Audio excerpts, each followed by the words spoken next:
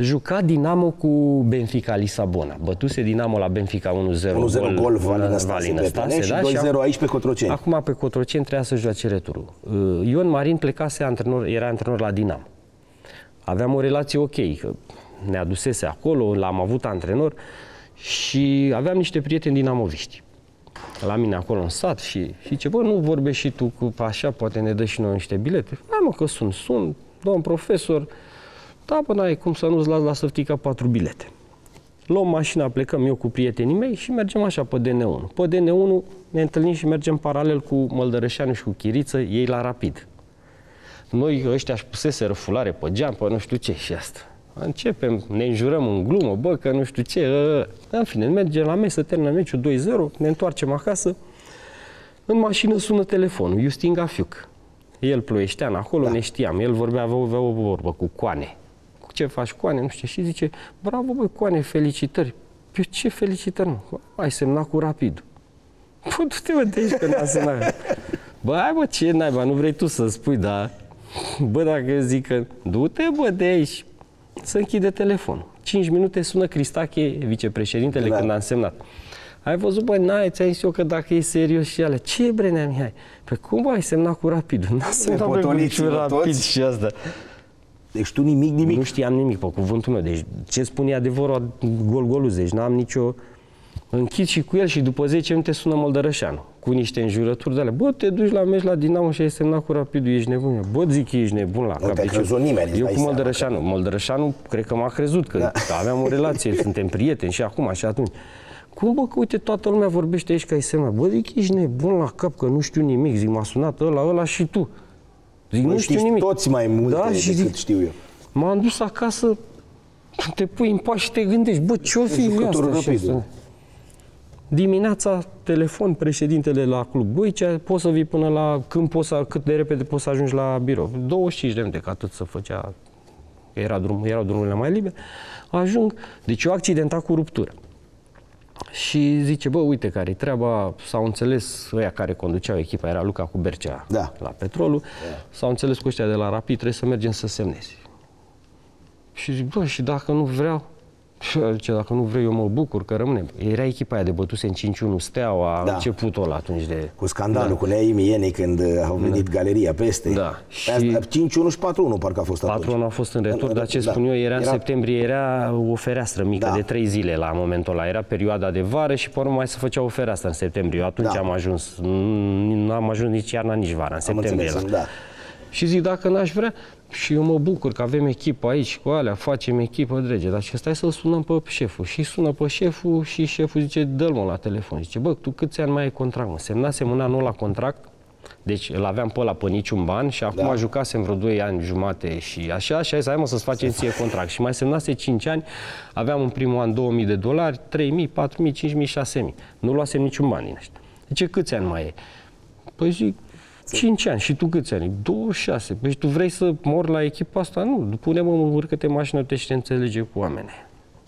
Ne-am urcat, ajungem la Crauplața, la Copos, nu-l știam, alea cu pupa. Băi, băiatule! Da. Și zic, doamne, da, Nea Mircea Lucescu antrenor. Zic, doamne, da, antrenor mă vrea. Pac, pac, sună Mircea și vorbește. Da, na, eu te vreau, vin, avem nevoie, nu știu ce. Doamne, sunt accidentat, nu contează. Mă pune acolo și, și începe, aveam un flipchart de la și începe. Primul an pot să-ți dau 45.000 de dolari. Să pic căzut, au ridicat doi, te-au dat cu apă. Al doilea an 55, al treilea an 70, cu prime de obiectiv, cu nu știu ce, cu alea, cu... Hmm? Ce, ce părere ai semnezi? contractul încoace. Dă-l încoace. Unde-i fixul? Deci asta, așa am ajuns la rapid. Deci când am mai povestit-o de multe ori, nu și public. istoria, istoria din spate care e? Adică cine te, te-a avut uh, domnul Lucescu, Lucescu, nu? Sau? da. Nea Mircea și au făcut acolo cu ministrul, nu știu care, că am mai auzit după aia. Că, pe urmă mai mi-a scos copos ochii, că m-a costat, mai costat, nu știu da, cât, era, mai alea de da, e normal, cât am da. făcut eu pentru tine da. și... Deci așa am ajuns, deci au venit toate de la sine. La mine n-a fost nimic forțat. N-a, Bă, eu eram la Florești, poate îmi doream petrolul, visam petrol, dar nu mă gândeam niciodată și a venit petrolul, eram la petrolul. Poate îmi doream altceva, dar niciodată nu m-am gândit. Eram mulțumit acolo, eram fericit și a venit rapid. Diferență mare între petrolul și rapid atunci? Da, enormă. Gândiți-vă că la momentul ăla Rapidul avea pro-rapidul când era în floare și alea chiar atunci îi dăduse drumul cu condiții, cu, să băteau la câștigase campionatul un an în urmă, Da. juca cupe europene. Altceva. Deci nu, nu se compară, da.